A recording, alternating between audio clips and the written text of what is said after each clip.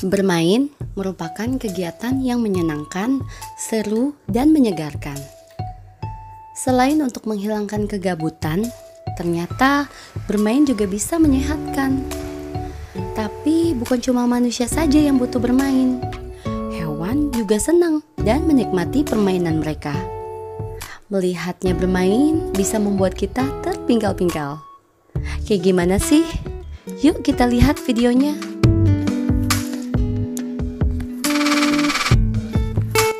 Pura-pura mati. Lihatlah kelakuan luwak pada temannya, burung rangkong. Luwak berlari ke arah rangkong dan seperti berpura-pura mati di depan sang rangkong, luwak berharap rangkong mendekatinya. Tapi sayangnya mereka kurang kompak ya. Karena rangkong yang kebingungan cuma terdiam heran. Mungkin dia bilang, Loh terus aku harus ngapain? Tolong ajarin aku. Lucu banget ya luwak ini. Bisa-bisanya dia membuat permainan seperti ini pada teman lintas jenisnya. Petak umpet. Berikutnya ada nih anak macan tutul yang iseng banget. Dia kelihatannya tidak punya partner bermain saat itu dan di sana cuma mamanya saja yang ada bersamanya. Ya sudah, jiwa bermainnya muncul.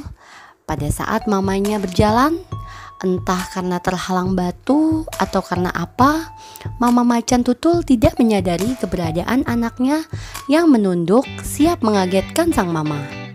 Langsung ketika si anak melompat, mama macan tutul juga loncat kaget. Betapa girangnya si anak karena berhasil iseng sama mamanya. Jadi main peta umpet ya nak. Si banteng penyabar.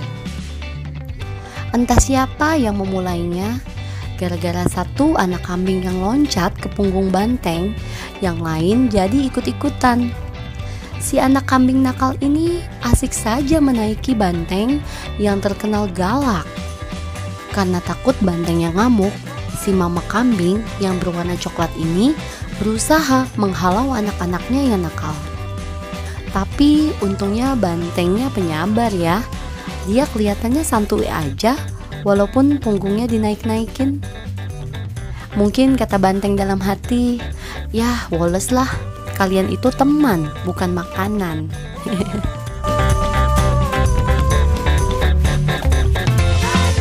loncat-loncat. Ada-ada saja kelakuan kawanan domba ini. Saking gabutnya, domba-domba ini naik ke gulungan jerami milik majikannya. Mereka melompat dari satu tumpukan ke satu tumpukan lainnya sampai ke ujungnya. Dan mereka terlihat sangat kegirangan dengan permainan tersebut.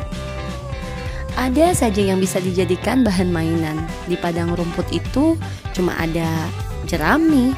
Ya sudah, tumpukan jerami itulah yang jadi bahan permainan mereka. Bermain putar-putar. Lihatlah yang dilakukan Rubah dan Musang ini. Rubah yang berlari ini benar-benar bukan karena ingin memangsa si Musang dia berlari karena ingin bermain. Kebetulan di situ ada tumpukan daun di tengah-tengahnya. Jadilah tumpukan tersebut dijadikan penghalang untuk mereka bermain kejar-kejaran dan berputar-putar. Walau kecepatan mereka berlari tidak sama, namun rubah ini bertindak seolah-olah dirinya yang tertinggal dan mengejar si musang. Lucu banget ya yang mereka lakukan untuk sekedar melepas kegabutan di hutan. Nah, jadi itulah beberapa video unik yang berhasil merekam kegiatan bermain di antara hewan. Ngomong-ngomong soal bermain, liburan ini ada rencana main di mana? Di rumah aja lah ya, biar aman dan tenang. Jangan lupa tetap terapkan protokol kesehatan dan pakai masker jika bepergian.